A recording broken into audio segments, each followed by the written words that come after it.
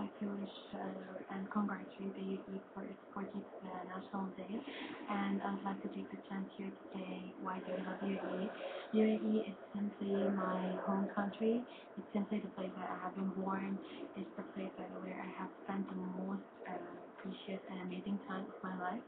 Uh, that's why I would also like uh, wish uh, all the best for the UAE.